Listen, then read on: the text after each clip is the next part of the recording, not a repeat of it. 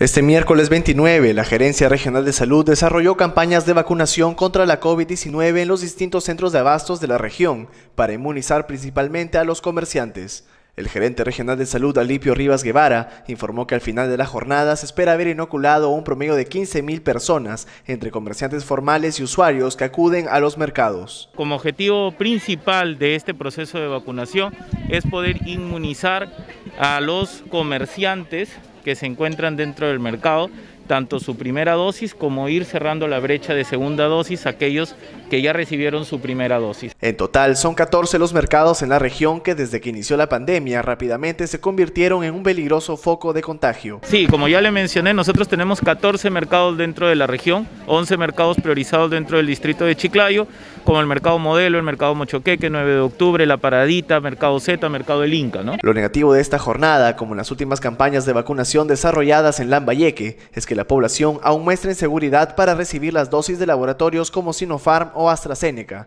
Alipio Rivas explicó que se está implementando planes para sensibilizar a las personas y enfatizar en que cualquier vacuna que llegue primero a nuestro hombro es confiable. Nosotros tenemos que, eh, ya hemos iniciado el proceso de sensibilización, estamos aumentando el proceso de poder llegar a cada uno de ellos y explicarles que no lo tenemos que hacer solo por nosotros, sino también tenemos que hacerlo por nuestros familiares, por todos aquellos que nos rodean y también por aquellos que se fueron.